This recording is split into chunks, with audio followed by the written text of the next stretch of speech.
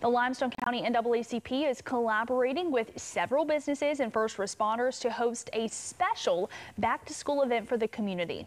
News 19's Samson Tamajani reports that the group and its sponsors want to do more than just offer school supplies.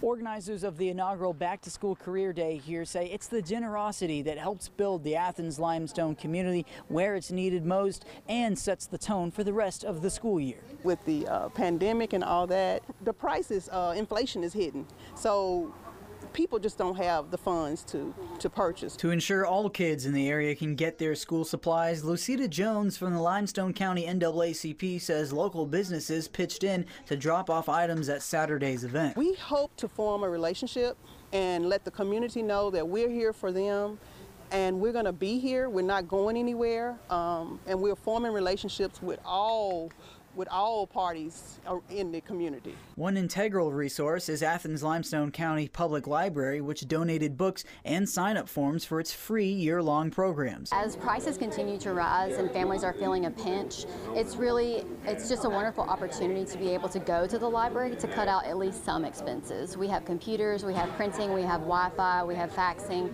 so any sort of cost savings that families can have right now is beneficial. The event is also a chance for outreach from other causes like NAACP's voter registration and local law enforcement. Anytime you can be around young children, it is positive. Uh, to, to, to play the positive interaction with uh, law enforcement and, and, the community is also a positive. Uh, I know most everybody here, uh, you know, and that, that's that's really awesome to get to come out and know people and, and be able to talk to people. In Athens, Samson Tamajani, News 19. And the Limestone County NAACP says that school-related donations are always welcome. So you can find a link to give on our website, WHNT.com.